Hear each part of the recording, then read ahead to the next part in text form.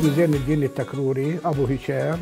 الحمد لله رب العالمين. عندي خلفت ثلاث أولاد وبنات تنتين.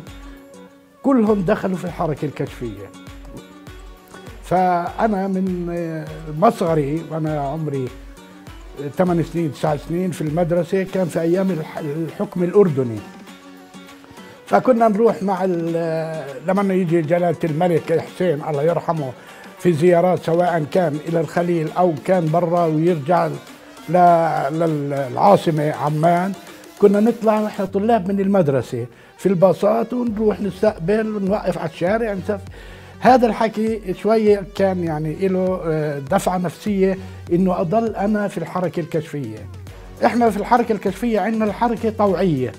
يعني بدون مقابل بتقدر تعمل أي عمل بفيد سواء الناس أو المجتمع. وهذا كان مغروس فينا إحنا من مصغرنا في الحركه الكشفية أو من رحمة والدي ووالدتي أو إخوتي الكبار أو الأصدقاء اللي كانوا معي في الحركة الكشفية. فأنا باب سقاء كان ضيق جدا. لقيت واحد اختيار بده يقطع الشارع.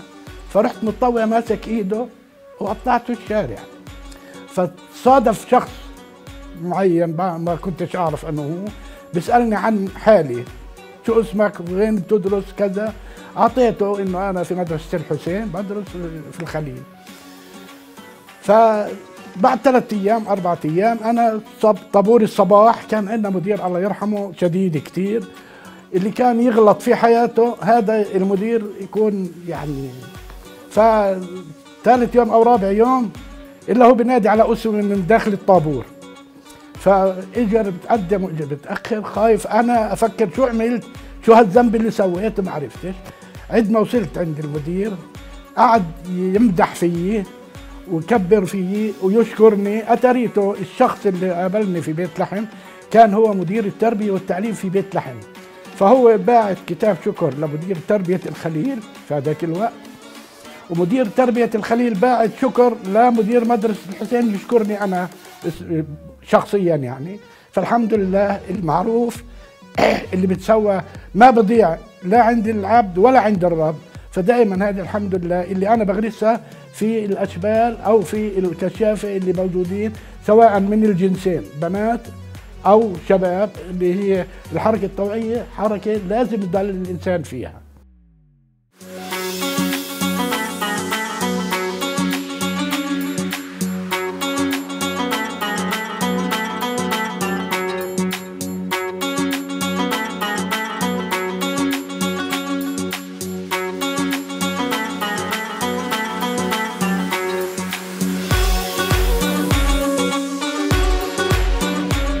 أنا الحركة الكشفية بقول لك من مصري وأنا في الابتدائي بس ما كانتش كلها يعني معدودة لأنه كانت مشاورنا قليلة بس ال- البداية الصح تقريبا في ال 63 64 آه، اجى عنا على الأردن آه، اللي هو القائد الكشفي آه، تبع آه، الكشاف العربي محمد علي حافظ. اجى في زيارة للمملكة الأردنية الهاشمية واجى فيها من خلال هذه الزيارة للخليل. فإحنا أنا كنت عضو في كشافة مدرسة الحسين مع زملائنا وفي مدرسة كان ابن رشد في كمان كانت اشياء الكشافة أصغر شوي. عملنا مخيم في ملعب مدرسة الحسين عن طلائع معينة وأجا هو ومعاه وزير التربية والتعليم اللي كان اسمه آه، ذوقان الهنداوي اذكره جيدا وكان عندنا المحافظ موجود. واجوا على الملعب في زياره للخيام اللي كنا موجودين. قعدنا ثلاث أيام وإحنا مخيمين في المخيم. من جملة المخيم إنه آه، الأستاذ تبعنا الله يرحمه كان القائد اسمه خليل محمد يونس من يطا كان هو مسؤول عن الكشافه في الحسين. خلانا نرسم خارطة فلسطين مع خارطة الوطن العربي بكل على الأرض. حطينا الحدود الخارجية بحجار. وحطينا الحدود الداخلية بمادة البارود بما إنه كان عند رحمة والدي وإخوتي يعني محاجر ونستعمل البارود الأسمر جبت بارود ومديناها بين الحدود الداخلية وكتبنا بأحرف مورس وباللغة تحت على الأرض إنه لا عودة لفلسطين إلا بوحدة العالم العربي. هذا كان سنة ال 65 في ملعب مدرسة الحسين. وعلق عليها الله يرحمه محمد علي حافظ. قال أنا عمري 65 سنة عمرها ما خطرت على هذه الفكرة. المراحل طبعا هي بتعدي المراحل الكشفية المعروفة إنه أشبال كشاف أول تعريف طليعة متقدم جوال بعدين ترجع اللي هي الآخر الحياة. في الكبر رواد الحركة الكشفية.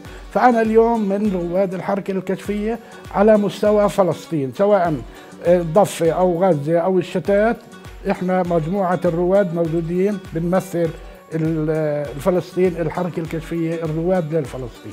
حركة الرواد هي الكشاف لما بعد بعدي مرحلة الجوال وبيطلع بعد ال 35 وبترك الحركة الكشفية.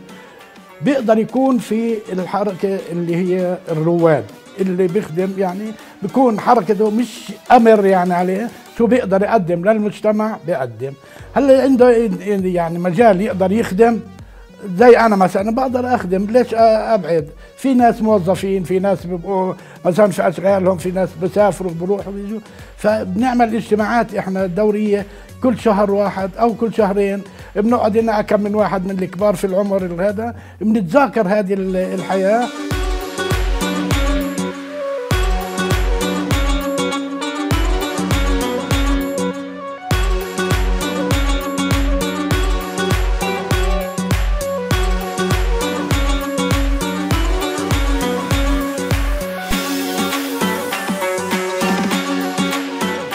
أنا بالنسبة إلي ليش بحب الحركة الكشفية؟ لأنه أنا بغرس الروح الكشفية في الاشبال إذا كان شجر زرعتيها ودرتي بالك عليها وطلعت تطلع الدوري تطلع كويسة 100% فهذا الشاب بدل ما يروح لمستويات لا سمح الله انجرار مع ناس سيئين أو كذا أنا في الحركة الكشفية بخلق منه شخص نافع للمجتمع. وهذه الفكرة اللي أنا بتحملها بتكون قدوة للناس. الكشاف أهم شيء إنه يكون عنده إخلاص لله وللوطن وبعدين لنفسه والناس. هذه هي المبادئ تبعتنا اللي إحنا بنمشي عليها اللي هو الوعد الكشفي. أعد بشرفي أن أقوم بواجبي نحو الله ثم الوطن وأن أساعد الناس في جميع الظروف. هذا الوعد تبعنا. هذه الإشارة تبعت الكشاف اللي هي هذه الحركة. هي عبارة عن الإشارة العامة بالحركة الكشفية على مستوى العالم. وين ما تروح أنا كشاف بعتاز أي خدمة بوقف في الشارع برفع إيدي هيك أي كشاف بيجي بقدم لي شو أنا ببقى معتاز. أو أنا كثير أجوا على الخليل ناس يكونوا مش عارفين وين هذا أشوفه لابس المنديل الكشفي أروح أنا أتعرف عليه وأساعده وأقدم له أي خدمة بكون فيها. وكلها صداقات ولا تزال موجودة لحد تاريخ هذه اللحظة. والله يرحم زوجتي أم هشام لما توفت قبل ثلاث سنين. أجاني يعني كل أعضاء الكشافة يعذبوني في زوج رحمه الله يعني